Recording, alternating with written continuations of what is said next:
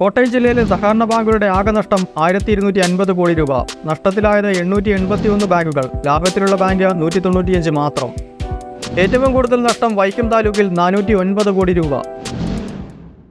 നമസ്കാരം. സംസ്ഥാനത്തെ സഹകരണ ബാങ്കുകളുടെ അഴിമതിയും കെടുകാര്യസ്ഥതയും സ്വജനപക്ഷപാതവും പാർട്ടിവൽക്കരണവും ഇതൊരു വാർത്തയേയല്ല. കോൺഗ്രസ് നേതാക്കളും സി പി എം നേതാക്കളും നടത്തിയ സഹകരണ ബാങ്ക് തട്ടിപ്പ് കേസ് സംസ്ഥാനത്ത് അനേകമാണ്. പല നേതാക്കളും ജയിലിലോ ജാമ്യത്തിലോ ആണ്. സി പി എമ്മിന്റെ പ്രമുഖനായ നേതാവ് എ സി മൊയ്തു സഹകരണ ബാങ്ക് അഴിമതിയിൽ കുറ്റാരോപിതനാണ്. വർഷങ്ങൾക്ക് മുമ്പ് കോട്ടയത്ത് ഇളംകുളം സഹകരണ ബാങ്കിലെ കോടികളുടെ അഴിമതി ഇന്നും കാണാമറയത്താണ്. മുപ്പത്തിയെട്ട് കോടി രൂപ ഇന്നും നിക്ഷേപകർക്ക് തിരികെ നൽകാനുണ്ട്. സഹകരണ മന്ത്രി വി എൻ വാസവനും സി പി എമ്മിലെ പ്രമുഖനായ നേതാവ് കെ ജെ തോമസും ഇളംകുളം സഹകരണ ബാങ്ക് അഴിമതി ആരോപണം നേരിട്ടവരാണ്. കെ ജെ തോമസിനെതിരെ എഫ്ഐആർ രജിസ്റ്റർ ചെയ്തതാണ്. രണ്ടുപേരും രക്ഷപ്പെട്ടത് ഉമ്മൻചാണ്ടിയുടെ കാരുണ്യത്തിലാണ്. ബി ജെ പി അധികം സഹകരണ ബാങ്കുകൾ ഭരിക്കുന്നില്ല. അതുകൊണ്ട് സഹകരണ ബാങ്ക് അഴിമതിയിൽ അവരുടെ പങ്ക് നിലവിൽ ശൂന്യമാണ്. കോട്ടയം ജില്ലയിൽ ബി ജെ പി ഭരിക്കുന്ന രണ്ട് ബാങ്കുകളാണ്. രണ്ടും ലാഭത്തിലാണ്. മരിയാത്തുരുത്ത് സഹകരണ ബാങ്കും വാഴപ്പള്ളി സഹകരണ ബാങ്കും. വൈക്കം വെള്ളൂർ സഹകരണ ബാങ്കിൽ അറുപത്തിയൊന്ന് കോടി രൂപയുടെ അഴിമതിയാണ് നടന്നത്. അതിൽ പ്രതികളായവർ സി പി എമ്മിന്റെ ജില്ലയിലെ പ്രമുഖ നേതാക്കളാണ്. അതിൽ ഒരാൾ സഹകരണ മന്ത്രി വി എൻ വാസവന്റെ അടുപ്പക്കാരനാണ്. പൊതുപ്രവർത്തകനായ വെള്ളൂർ സ്വദേശി പി ജി ബിജുകുമാറാണ് വെള്ളൂർ സഹകരണ ബാങ്ക് അഴിമതി പുറത്തു കൊണ്ടുവന്നത് കേരളത്തിലെ കർഷകരെയും ദരിദ്രരെയും സഹായിക്കാൻ വേണ്ടി ആ ആ വിഭാവനം ചെയ്യപ്പെട്ട സഹകരണ മേഖല ഇന്ന് വലിയ പ്രതിസന്ധി നേരിടുകയാണ്. കോട്ടയം ജില്ലയിലും കേരളത്തിലാകെ തന്നെയും കോട്ടയം ജില്ലയിലും. കോട്ടയം ജില്ലയുടെ പ്രാധാന്യം എന്ന് പറയുന്നത് ഇപ്പോഴത്തെ സഹകരണ വകുപ്പ് മന്ത്രിയുടെ ജില്ലയാണ് കോട്ടയം. അവിടെ വലിയ തോതിലുള്ള ആയിരക്കണക്കിന് കോടി രൂപയുടെ അഴിമതിയാണ് സഹകരണ മേഖലയിൽ നടന്നുകൊണ്ടിരിക്കുന്നത്. വെള്ളൂർ സർവീസ് സഹകരണമായിരുന്നു വൈക്കം താലൂക്കിലെ വെള്ളൂർ സർവീസ് സഹകരണ ബാങ്കിൽ മുപ്പത് നാൽപ്പത്തി മൂന്ന് കോടി രൂപയുടെ അഴിമതിയാണ് നടന്നിട്ടുള്ളത്. സഹകരണ വകുപ്പ് നടത്തിയ ഓഡിറ്റ് റിപ്പോർട്ടിൽ റൂൾ സിക്സ്റ്റി ഫൈവ് പ്രകാരമുള്ള അന്വേഷണത്തിൽ നാൽപ്പത്തി മൂന്ന് കോടി രൂപ അവിടെ ക്രമ ക്രമവിരുദ്ധമായി തട്ടിക്കൊണ്ടു പോയിരിക്കുന്നു എന്ന് കണ്ടെത്തിയിട്ട് ഏതാണ്ട് അഞ്ച് വർഷത്തോളമായി. നാളിതുവരെയായ ഒരാൾക്കെതിരെ പോലും നടപടിയെടുക്കാൻ വകുപ്പിനോ അല്ലെങ്കിൽ നിയമ സംവിധാനത്തിനോ കഴിഞ്ഞിട്ടില്ല എന്ന ഏറ്റവും ഗുരുതരമായ ഒരു സാഹചര്യത്തിലൂടെയാണ് നമ്മുടെ സഹകരണ മേഖല കടന്നുപോകുന്നത്. വെള്ളൂർ ബാങ്കിലെ കാര്യം മാത്രം പരിശോധിച്ചാൽ കേരളത്തിന്റെ സഹകരണ വകുപ്പ് മന്ത്രിയുമായി വ്യക്തിപരമായി വലിയ ബന്ധമുള്ളവരാണ് ആ അഴിമതി നടത്തിയിട്ടുള്ളത്. ആ അഴിമതിയുടെ ഫലമായി അറുപത്തിയൊന്ന് കോടി രൂപയാണ് അവിടുത്തെ സ്ഥിര നിക്ഷേപകർക്ക് ലഭിക്കാനായിട്ടുള്ളത്. ഈ ഓണക്കാലത്ത് പോലും അവർ അവരുടെ നിക്ഷേപ തുക തിരിച്ചു വാങ്ങിക്കാൻ വേണ്ടി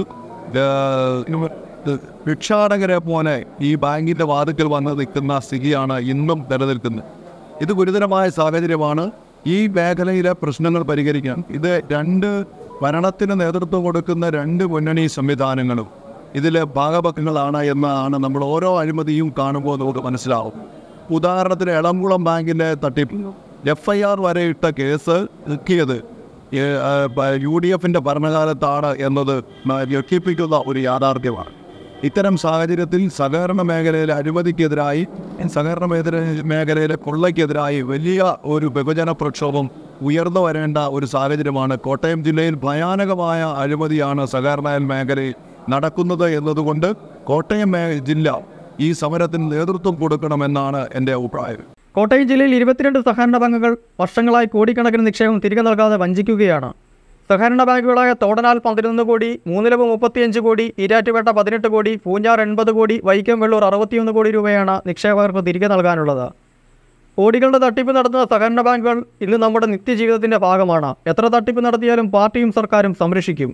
സംസ്ഥാനത്തെ സഹകരണ പ്രസ്ഥാനങ്ങൾ വഹിക്കുന്നത് രാഷ്ട്രീയ നേതൃത്വമാണ്. എല്ലാ രാഷ്ട്രീയ പാർട്ടികളും സഹകരണ ബാങ്കുകൾ ഭരിക്കുന്നുണ്ടെങ്കിലും കൂടുതലും സി പി എമ്മിനാണ് ഭരണം. അധികാര ദുർവിനിയോഗം നടത്തിയും കള്ളവോട്ട് ചെയ്തും ഭീഷണിപ്പെടുത്തിയുമാണ് സി പി എം സഹകരണ പ്രസ്ഥാനങ്ങൾ കൈപ്പിടിയിൽ ഒതുക്കുന്നത്. കോട്ടയം ജില്ലയിൽ മാത്രം സഹകരണ ബാങ്കുകളുടെ നഷ്ടം ആയിരത്തി ഇരുന്നൂറ്റി അൻപത് കോടി രൂപയ്ക്ക് മുകളിലാണ്. വിവിധ ഇനത്തിൽപ്പെട്ട ആയിരത്തി എഴുപത്തി ആറ് സഹകരണ പ്രസ്ഥാനങ്ങളാണ് കോട്ടയം ജില്ലയിൽ നിലവിലുള്ളത്. കൂടുതലും സഹകരണ ബാങ്കുകളും സംഘങ്ങളുമാണ്. ഇതിൽ എണ്ണൂറ്റി എൺപത്തിയൊന്ന് സഹകരണ പ്രസ്ഥാനങ്ങളും വലിയ നഷ്ടത്തിലാണ് പ്രവർത്തിക്കുന്നത്. ലാഭത്തിൽ പ്രവർത്തിക്കുന്നത് നൂറ്റി തൊണ്ണൂറ്റിയഞ്ച് സഹകരണ ബാങ്കുകൾ മാത്രം. വൈക്കം താലൂക്കിലാണ് ഏറ്റവും കൂടുതൽ ബാങ്കുകൾ നഷ്ടത്തിൽ പ്രവർത്തിക്കുന്നത്. നാനൂറ്റി ഒൻപത് കോടിയുടെ നഷ്ടമാണ് വൈക്കം താലൂക്കിൽ മാത്രമുള്ളത്. ഇരുന്നൂറ്റി നാൽപ്പത്തിനാല് സഹകരണ പ്രസ്ഥാനങ്ങളാണ് വൈക്കം താലൂക്കിലുള്ളത്. അതിൽ ഇരുന്നൂറ്റി നാലും വലിയ നഷ്ടത്തിലാണ് പ്രവർത്തിക്കുന്നത്. ലാഭത്തിൽ പ്രവർത്തിക്കുന്നത് നാൽപ്പത് സഹകരണ പ്രസ്ഥാനങ്ങൾ മാത്രം. നഷ്ടത്തിന്റെ രണ്ടാം സ്ഥാനം മീനച്ചിൽ താലൂക്കിലാണ്. നാനൂറ്റി അഞ്ച് കോടി രൂപയാണ് മീനച്ചിൽ താലൂക്കിലെ നഷ്ടം. നൂറ്റി തൊണ്ണൂറ്റിയാറ് സഹകരണ പ്രസ്ഥാനങ്ങളിൽ നൂറ്റി അറുപത്തൊന്നിനും വലിയ നഷ്ടത്തിലാണ് പ്രവർത്തിക്കുന്നത്.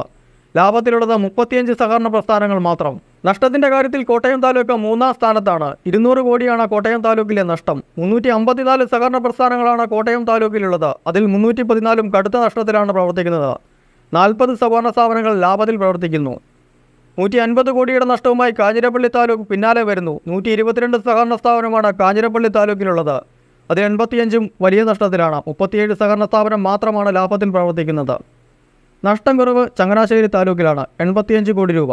ആകെയുള്ള നൂറ്റി അമ്പത്തെട്ടിൽ നൂറ്റി പതിനഞ്ചും വലിയ നഷ്ടത്തിൽ പ്രവർത്തിക്കുന്നു നാൽപ്പത്തി മൂന്നെണ്ണം മാത്രം ലാഭത്തിലുള്ളത്. നഷ്ടത്തിലായ ചില സഹകരണ ബാങ്കുകളുടെ ലിസ്റ്റുകൾ ഞങ്ങൾ വായിക്കാം.